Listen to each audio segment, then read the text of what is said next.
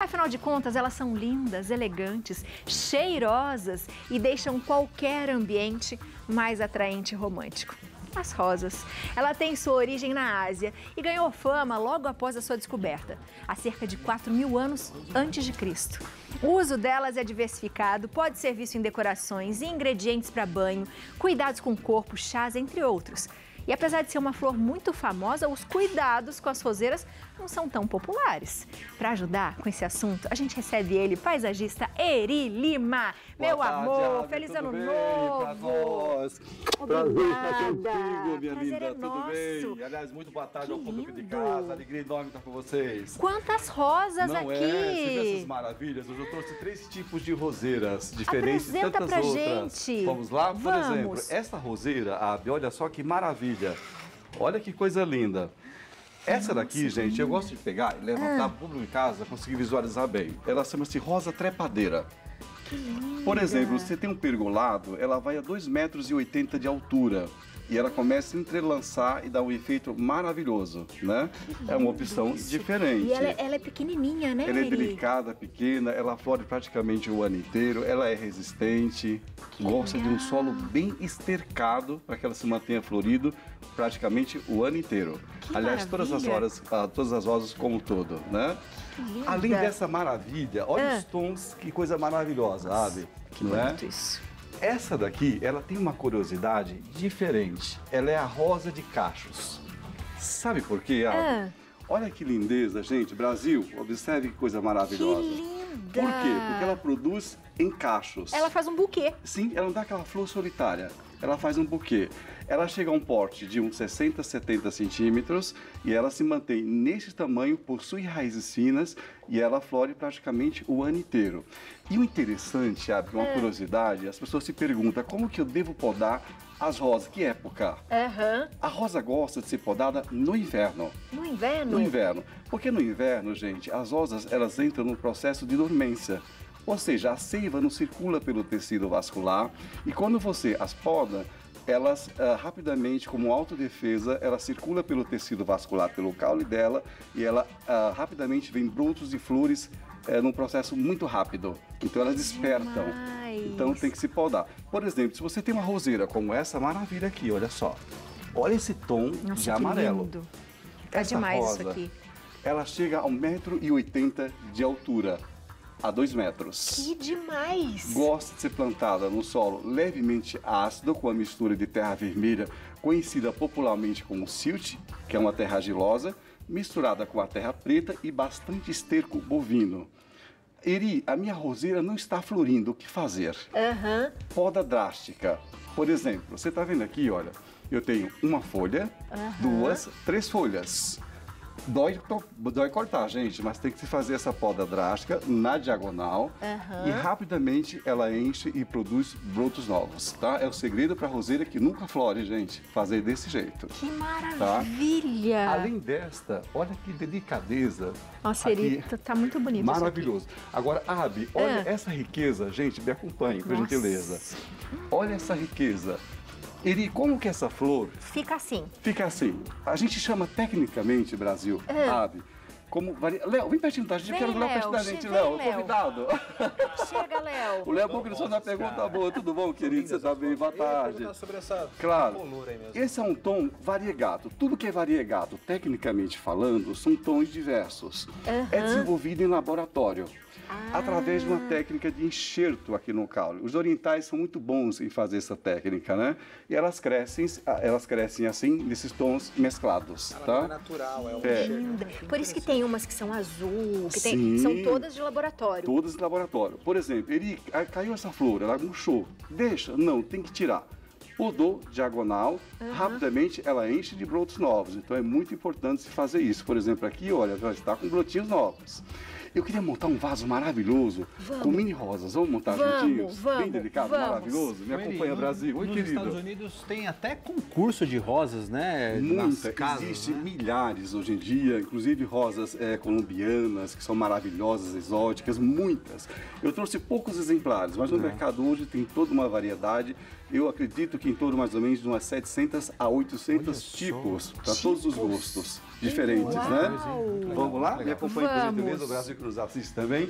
Léo, por favor, olha esse vaso linda. maravilhoso aqui. Léo e Ave, olha só.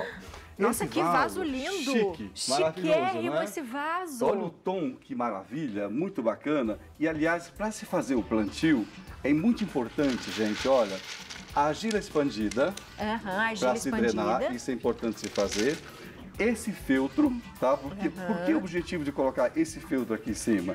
Justamente para se drenar, para a terra não misturar com a argila expandida, porque senão entope o vaso, tá? Como todo paisagista que gosta de terra, eu vou pegar o saco da terra maravilhosa já estercada, gente. Olha só, não repara, pessoal. Olha só, já vou encher com a terra Nossa, boa que vaso lindo. maravilhoso e assim já estercado. E olha só, vamos embora.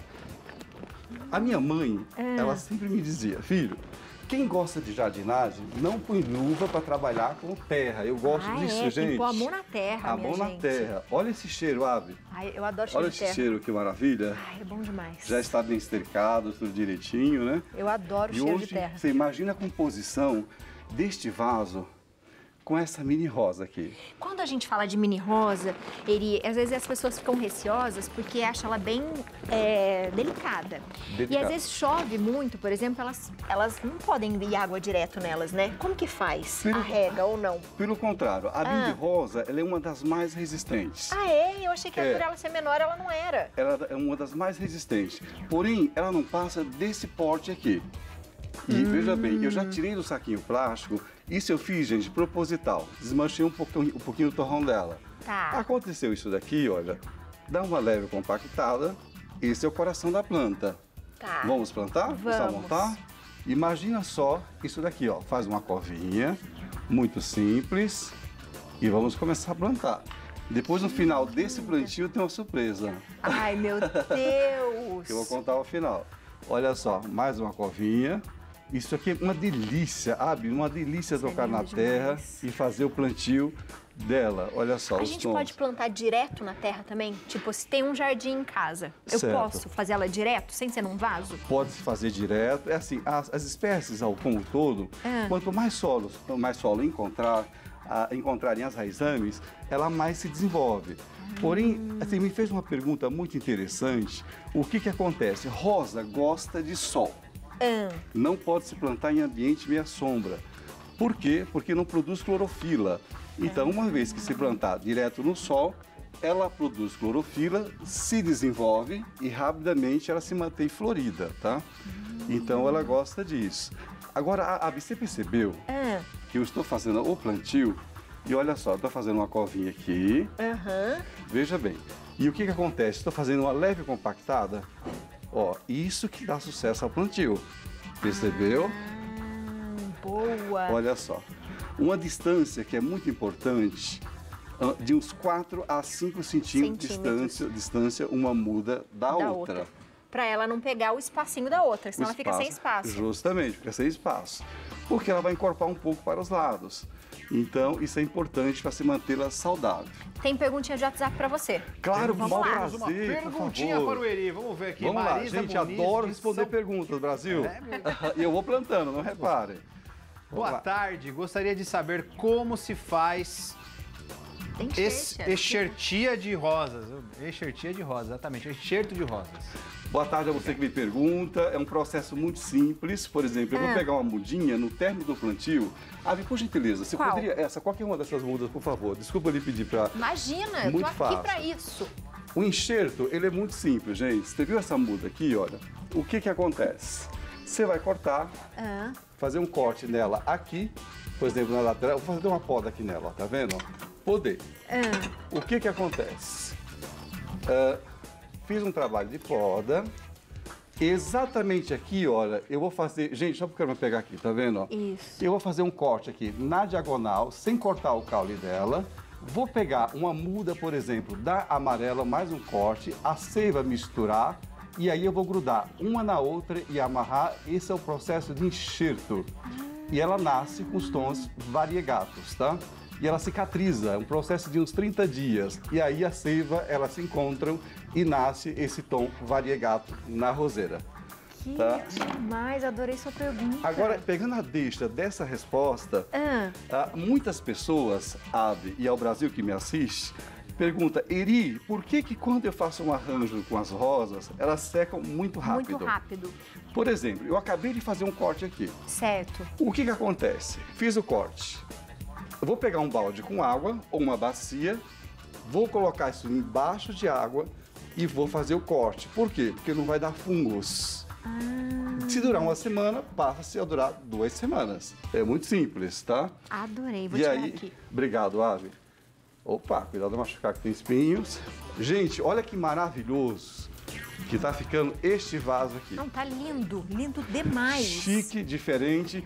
E detalhe, dura em torno mais ou menos Ah. de 15 a 20 anos. 15 a 20 anos. Muito resistente. Se regar três vezes por semana, ela dura muitos anos, tá? De três vezes por semana que rega a rosa. Que rega rosa. Evitar molhar as pétalas e Aham. evitar molhar as folhas. Aí você me pergunta, e a chuva? Aí a natureza segue o seu curso, porque a água da chuva ela é diferente da água de torneira, que tem cloro. Verdade. Então, que legal isso que é né? amarelo as folhas, né? E como é perfeita, né, a Não é? natureza?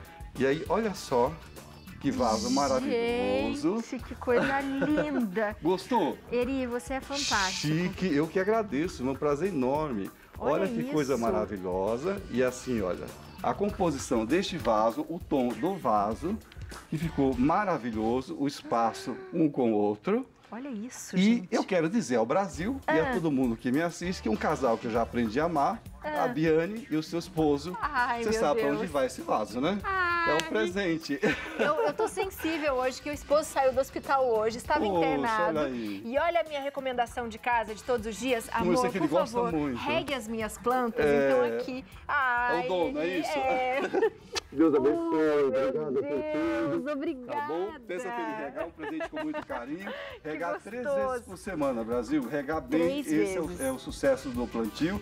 Bem regadinho, vai sentir um pouquinho, perder as folhas, como tudo que se planta, mas rapidamente se recupera e aí sim ele se desenvolve, vai ficar por muitos anos, tá? Que lindeza. Queria fazer um agradecimento Por rápido favor. aos dois irmãos Vaso, que faz essa maravilha de vaso, que é parceiro nosso, tá? lindo. E é isso, regar tudo bonitinho. E, por exemplo, aquela rosa de grande porte ali, Aham. você pode colocar num vaso grande de 60 centímetros. Porque quando a rosa ela chega a 2 metros de porte, essa que você me pegou como exemplo, o que que acontece? Ela, as raízes tendem a se aprofundarem.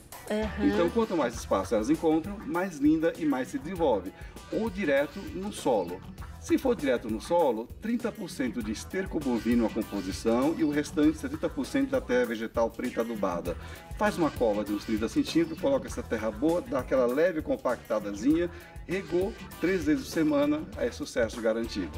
Amém. Tá bom? Obrigada, volte Eu que sempre, agradeço a você, ao Brasil, a todo presente. mundo, ao seu lugar. E me segue lá no Instagram, gente. É, aproveita, minha gente. Vou passar lá, ó. arroba Erilima TV, tudo junto. O telefone é o 11 2605 0314 e 11 947 38 7638. E tem também, ó, compreterra.com.br que você vai achar que é o tudo. nosso site, tem mais de 600 produtos na linha de jardinagem, inclusive terra vegetal preta adubada. E quando vocês me procuram no Instagram, eu amo, gente, arroba Irilima TV. Eu amo falar com Aproveita. você, A viu? gente ama você. Obrigada. Meu coração é daqui, da mãe Aparecida. Eu amo demais, é um prazer enorme estar aqui. Eu venho com a Obrigada. alma. Eu tá? Você sei. é muito especial, você Eu sabe sei. disso. E fala pro Dom que eu mandei um abraço pra ele. Pode tá? deixar. Obrigada. Beijo. Eu vou deixar no cantinho. Tá. Agora-